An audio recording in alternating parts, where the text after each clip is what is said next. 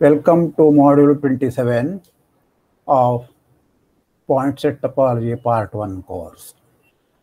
Last time we have studied the union of open sets, union of topological spaces, coherent topology and such things. So those things are much more used when you go to manifolds or more generally simplicial complexes and CW complexes and so on. One of the problems there again is that you have some neighborhoods of a point in the smaller space. You want to extend it to a larger space and then again larger space and again larger, larger and so on. So the first step of that we will study here, which is purely, you know, elementary point set topology. If you are stuck with this one there, then that will be more difficult. Okay, here is the lemma. Take Y contained inside X, a closed subset. Okay, X is a topological space, Y is a closed subset with its topology coming from X now. So as a subspace also you can think of this one. Now take A contained inside X, any set. Let V be an open set in X such that A is contained inside V. Okay. So V is an open subset of X. Now suppose U is an open subset of Y, open subset of Y, okay, such that A intersection Y is contained inside U, and the whole thing is contained inside V. Therefore, they are contained inside V intersection Y also. Okay.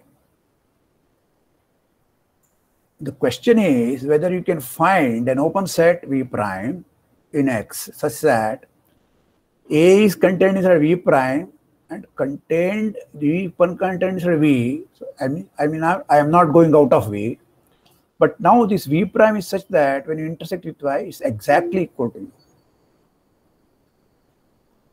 The Y part of A, this A intersection Y, okay, was contained inside. So this U is a neighbor of A intersection Y inside Y. Now I want to extend it. Extension means what? When you take intersection, it will come back to you, right? So this extended, namely V prime, to a neighborhood of X, a, to, to an open subset of X, such that this becomes a neighborhood of A in X. Okay. If A is a single point, this will be easy to uh, easy to do. Okay, but if A is not a single point and not contained inside Y and so on, then this is somewhat complicated. That's why I have put it here. Actually, I feel like, you know, having explained this one, feel like giving it to you an exercise.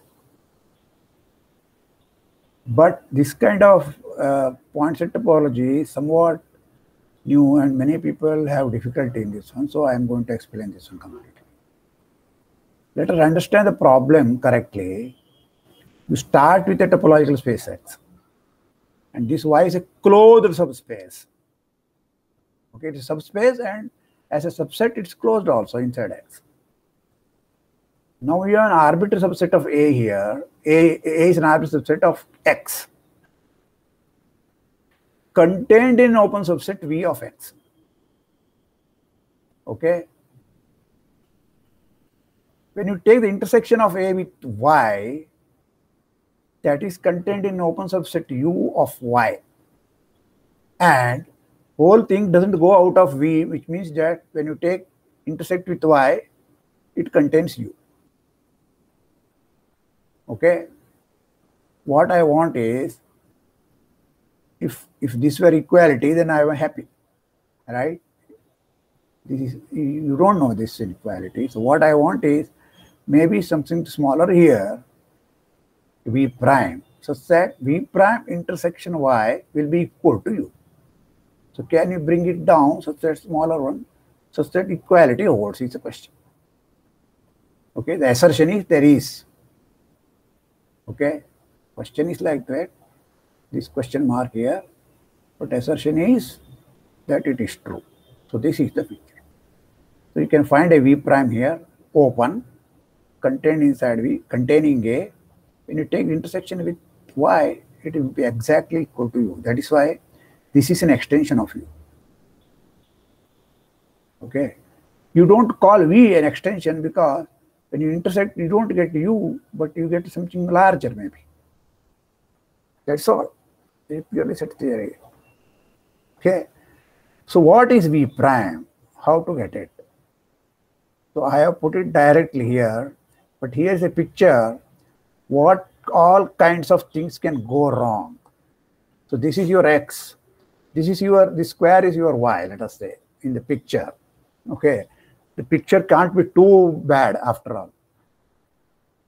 This is your V, which is an open subset of X. It is not contained in Y, then everything will be trivial. This is your A, this hexagon, which is also not contained inside X, contained inside Y. Okay. Part of it is inside X, part only part is inside. Okay. Now, what is U? Once again. So, see, U is an open subset of Y and contains A intersection Y. So, this is A intersection Y. Okay. And this dot dot dot up till here is an open subset of Y and it contains A intersection Y. Okay. Can you extend it to a known neighborhood which will contain the whole of A like this. When you intersect it, why it should be only this part. Okay. Since u is open in, uh, in y, u will be equal to something like w, the full thing dot dot dot, intersect with y. That is the definition of open subsets of y. Okay. But this w has gone out of v. And it does not contain a either. So this w, the choice of w here, by the definition of that u is open inside y, is, is not doing the job. It neither, neither contains A nor contained inside V. I want both of them. So what should I do? This is the point. So I have to use that this Y is a closed subset of X. Okay, I don't want to, I have to use that. I don't want to go out of V. Okay, V is a open subset y is closed. So v minus y will be an open subset. Okay. So this take this open subset. Where is it open? Is y is closed inside X. So complement of y is open inside X. So v intersection that will be open inside X itself. So so take the intersection with this one, whatever you have. This portion, this portion will get out. That will be inside but still it's not covering A, right? So how to cover A? So think properly and that's, that will give you an answer. How to cover A? So this W is there, I can intersect with V minus Y. Okay. So that will give you an open subset contained inside V.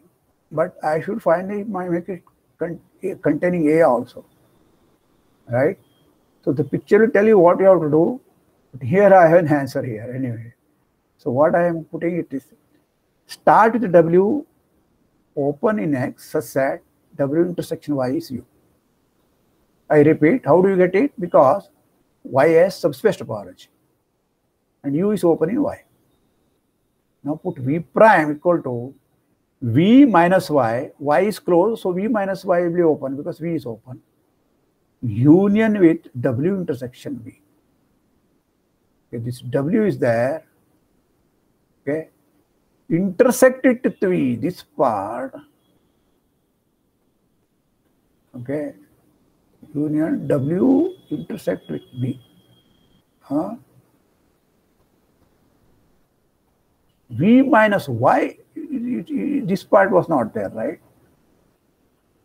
So you take this part, union of this part, this part, V part will cover that one, and W intersection part will be whatever you have deducted, this will cover that one. Okay? So V minus Y union W intersection V. Okay?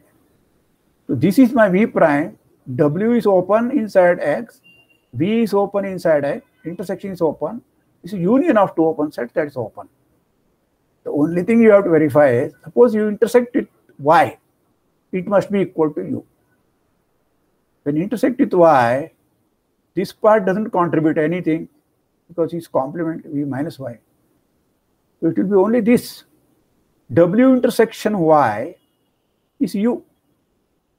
Okay, but W intersection V is already part of that one. V is already inside you. So this is also the V is already a larger subset than U.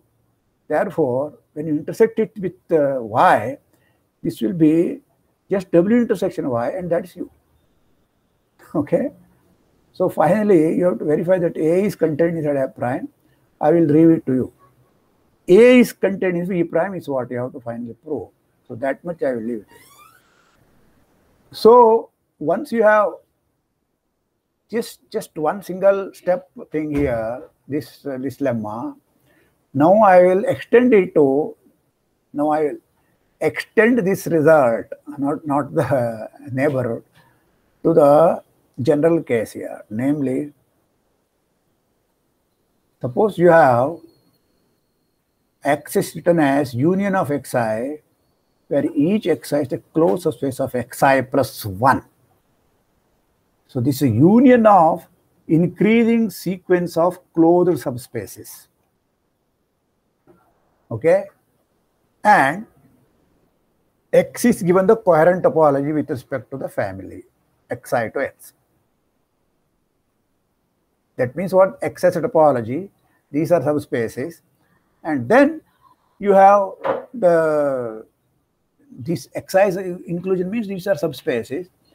And then something is closed or open if and only if intersection with each xi is closed or open.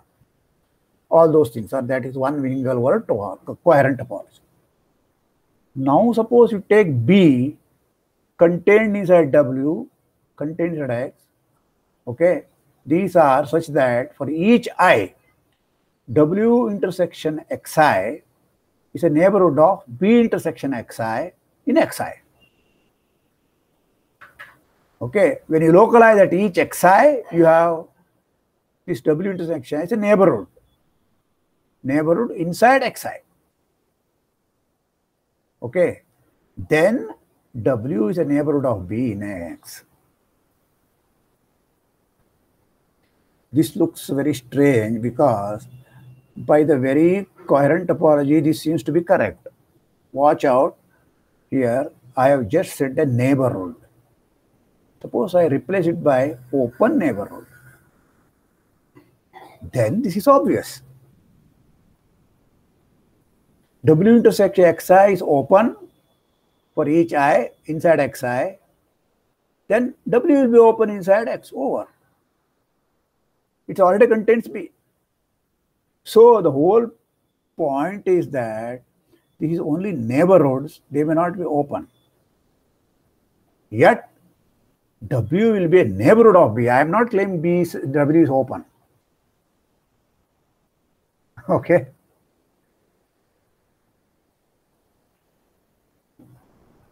Okay. So, so we appeal to this lemma which we have done just here, this lemma one by one we keep getting uh, open subsets. neighborhoods contain open subsets, right? There is not single one W now. So that is why you have to extend it correctly, each step. Then you will get it. That is the whole idea. So appeal to lemma 2.49 or whatever. Okay. Start with x equal to xi plus 1, y equal to xi. So xi is a closed subset of xi plus 1. So in general, we had the lemma was y is a closed subset of x. So I am applying that. Take A to be xi intersection B, the V to be xi intersection W. These are x, y, A and V were uh, coming inside this lemma. So I have set up what they are. Then inductively you choose. Suppose you have already chosen UI such that UI is an open subset of Xi and contains this Xi intersection B. Okay. Then this lemma says that, okay, so that's what I have said. The B intersection Xi is contained in UI, contained in W intersection Xi. Then there will be a UI plus 1. When you intersect with Xi, it's precisely equal to UI. And of course, this UI plus 1 will be contained inside W intersection Xi plus 1 and so on. Now we put W equal to union of all these UIs. Intersection with each Xi will be precisely equal to UI, which is open subset of Xi. Therefore, it's open. Intersection with Xi contains B intersection Xi. Therefore, this will contain B. The whole thing is contained inside W because intersection with each xi is contained inside W intersection xi. That's all. Okay. So one step extension, I said this lemma will give you this whole extension here for an inductive family. This is this is an increasing family of closed subspaces. This kind of thing occurs in CW complexes, study of CW complexes. Okay. So that was the part of uh, union. The next topic was about quotient topology. I will have to do that one for the rest of the time here, though that is not exactly the the theme of the of the today's talk as such. Okay. They all fit into the theme of constructing new spaces. So today I will not do anything about spaces, but just about sets. Okay. The next topic is quotient spaces. But today we should just recall the set theoretic aspects of a quotient map. Hope you know it, but let us not assume that you know uh, exactly what I want you to know. So I will tell you a few things. Consider the following three concepts in set theory. Start with X, any set. Okay. First thing is there is a surjective function from X to another set Y. Okay. The second thing is X is written as a mutually disjoint union of sum of its non-empty subsets indexed by a set y. What do I mean by this? X is disjoint union of AY, AY, see Y inside Y, that is index inside. Okay. AYs are non-empty, non-empty subsets. AY intersection AY prime is empty, Y not equal to Y prime, it's mutually disjoint. All right. So there is no repetitions and so on here. If there are two repetitions, then they will be equal, not uh, empty. So y not equal to y prime, intersections must be empty. So this is the meaning of mutually disjoint open sets. Sometimes I will just, just disjoint union. That's what I started with, right? So here also I'm looking at disjoint union. That's a that's the second condition. So such a disjoint union often is called partition. Partition of a set. Some people call it decomposition of a set also. So I will use both the terms so that you will get familiar with both the both the terms. That's all. The third one is we are given an equivalence relation on X. So I have told you three different things: surjective function, a decomposition, and an equivalence relation. What they have to do with each other? The claim is that these concepts are equivalent to each other. Giving one of them is same thing as giving the other two. It's the same thing. What is the meaning of same thing? I have to explain to you. Okay. So let us see how. What is the meaning of that? These things are same. To start with, suppose x is set, and so is the surjective function? That is the first one, right? It's a here. Take a surjective function. I want to say that it will immediately produce a partition. What is that? The fibers. The fibers of Q. What is the meaning of fibers of Q? Q inverse of singleton Y, right? That is the fiber over Y of Q. As Y varies over Y, okay, that will cover the whole of X because this is a surjective function. Okay, that means what? Union of AY is equal to X. Because it's a function, Q inverse Y intersection Q inverse of Y prime will be empty. Okay. Again, because surjective, each Q inverse of Y is non-empty. So this is a partition or decomposition. So A implies B. Implies B means what? A surjective function gives rise to a partition. All right, let us go further now. Suppose you are given a partition indexed by a set Y. I want to define an equivalence relation now. Relation I am defining x is equivalent to y, x1 is equivalent to x2 if both x1 and x2 are in the same subset ay. Remember, x is union of ay, so given any x, it must be inside one y, ay. But if given two of them, if both of them are in the same ay, then I say they are equivalent. They are related. Why this equivalence relation? That's again easy to see because if x, y, z are such that xy is in same thing and yz is in same thing, x and z must be in the same same thing. that's all, right? Same set ay, both of them be. So that is a transitivity. Reflexivity is obvious, symmetry is obvious because by definition, it is symmetric. X and Y both belonging to means what? So it's already symmetric relation. So this is an equivalence relation. Start with a function. Surjective function gives you partition. Partition gives you equivalence relation. You can go back whichever way you like. I can directly go to now the function. Suppose you have an equivalence relation, okay? You want to construct a function from x to some set y. y is not given now, which is a surjective function. So how do you do that?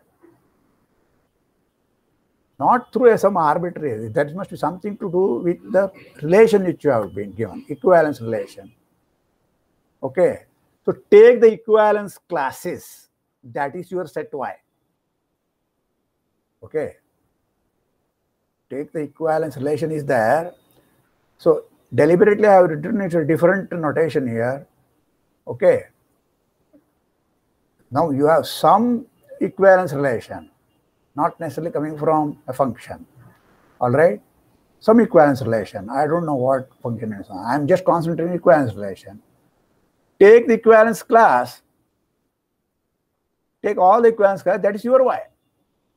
And take q of x equal to the equivalence class of x. That's a function. Each equivalence class contains some point. After all, it's equivalence class. Therefore, this function is surjective. Over. So you've got a surjective function. The point is that you can come back and it will give you same thing, whichever way you like. You have three cycle here, you know, cycle means consisting of three points.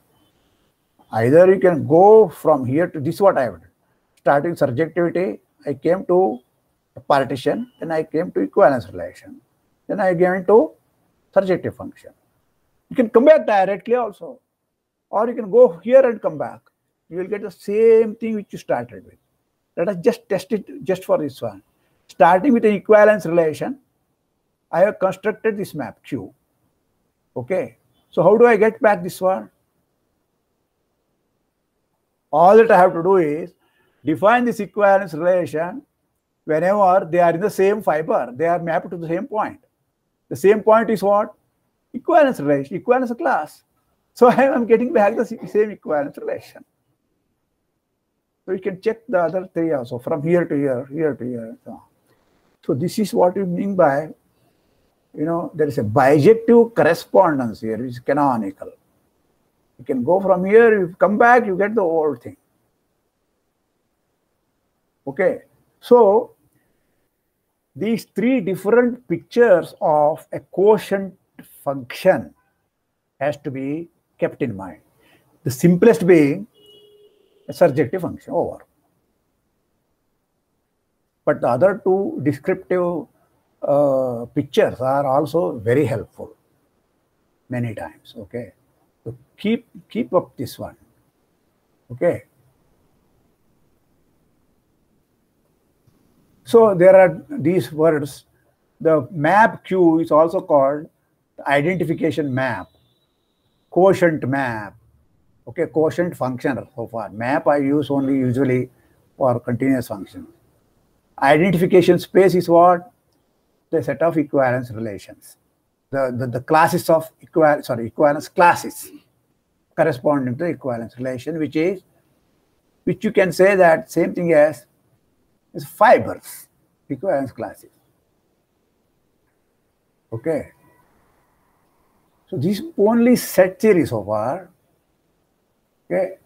I want to tell you that it has some some properties for set theoretic function, set theoretic property. What is it?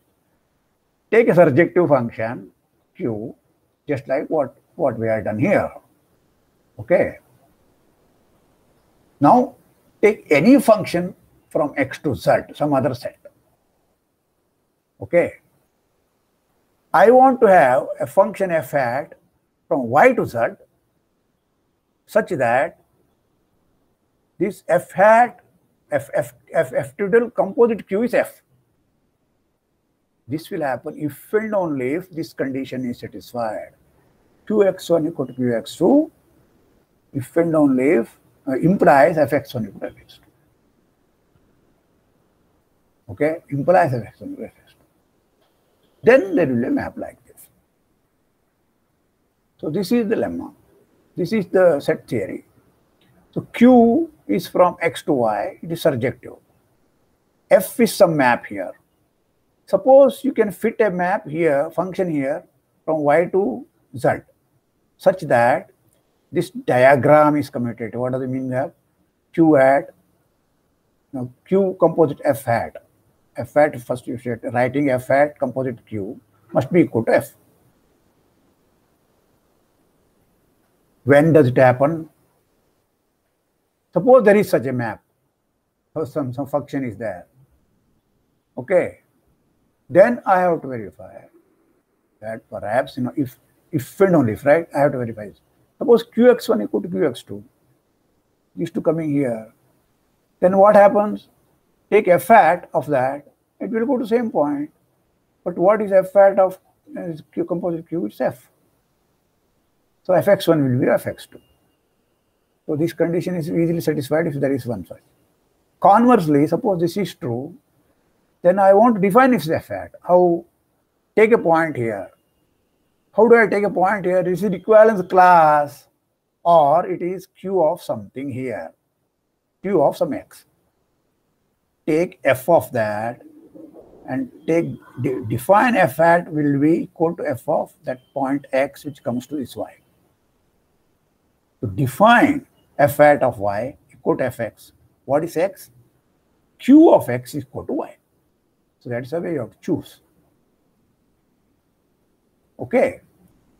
When you have chosen, you have problem. Why this is well defined? Suppose I choose some other x prime here. Okay, but that is the condition here. If there are two points, x1 and x2, let's say qx1 equal to qx2, then fx1 is equal to fx2. So therefore, f hat of this y or y prime, whatever, you have y you have chosen fine, but x and x prime different thing. F of those two points will be the same thing. So f is f hat is well defined. But then what is f hat of qx? If this y is already qx, by the very definition it is fx. If y is already qx, then f hat of that is by definition fx over. Okay. So whenever two points here go to same point here, f should also map them to same point. So this is used everywhere. Everywhere, whenever there's a quotient map, like group theory, you know, function analysis, when you have to construct quotient uh, vector spaces, linear algebra, linear algebra, you must have done it already. So all these things there. This is function theoretic, this is just set theoretic. There you may have f, f is linear map, this is also linear map, automatically this will be linear map and so on. If this is a normal subgroup and this is quotient here, where this is a subgroup, then this becomes a group, then this will be automatically become a group homomorphism. Okay. So that is the relation. This is the set theory. So different different uh, disciplines use that in a correct way. So now we are going to use this topology. So today I am not going to give you topology. Okay. So that we will do next time. So this much elementary points of topology you must remember. So tomorrow we will discuss the the the topology of this one and also some examples before going further. Thank you.